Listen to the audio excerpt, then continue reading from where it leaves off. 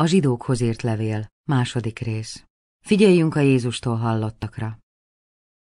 Ezért tehát még jobban kell figyelnünk a hallottakra, hogy valamiképpen el ne sodródjunk. Mert ha az angyalok által hirdetett ige olyan erős volt, hogy minden törvényszegés és engedetlenség megkapta igazságos büntetését, akkor hogyan menekülünk meg mi, ha nem törődünk ilyen nagy üdvösséggel, amelyet az Úr hirdetett először?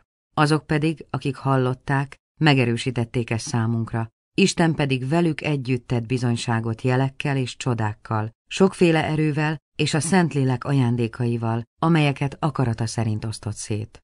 Jézus szenvedésen átjutott a dicsőségbe, mert nem angyalok uralma alá rendelte az eljövendő világot, amelyről szólunk, sőt valahol valaki így tett bizonyságot. Micsoda az ember, hogy gondolsz rá, vagy az embernek fia, hogy gondod van rá. Rövid időre kisebbé tetted őt az angyaloknál, dicsőséggel és méltósággal koronáztad meg, mindent lába alá vetettél. Ha ugyanis mindent alávetett neki, akkor semmit sem hagyott, ami ne volna neki alávetve. Most ugyan még nem látjuk, hogy minden az uralma alatt áll, azt azonban látjuk, hogy az a Jézus, aki rövid időre kisebbé lett az angyaloknál, a halál elszenvedése miatt dicsőséggel és méltósággal koronáztatott meg, hiszen ő Isten kegyelméből mindenkiért megízlelte a halált. Mert az volt méltó Istenhez, akiért van a mindenség, és aki által van a mindenség, hogy őt, aki számtalan fiát vezeti dicsőségre, üdvösségük szerzőjét szenvedések által tegye tökéletessé. Mert a megszentelő és a megszenteltek mind ugyanattól származnak, ezért nem szégyelli őket testvéreinek nevezni, amikor így szól, hirdetem nevedett testvéreimnek, a gyülekezet körében dicsérlek téged. És ismét?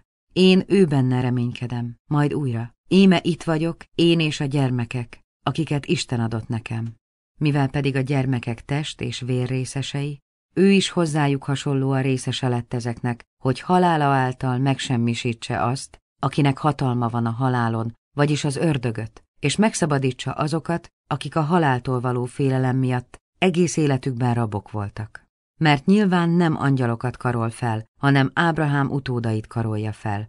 Ezért mindenben hasonlóvá kellett lennie a testvéreihez, hogy irgalmas és hű főpap legyen az Isten előtti szolgálatban, hogy engesztelést szerezzen a nép bűneiért. Mivel maga is kísértést szenvedett, segíteni tud azokon, akik kísértésbe esnek.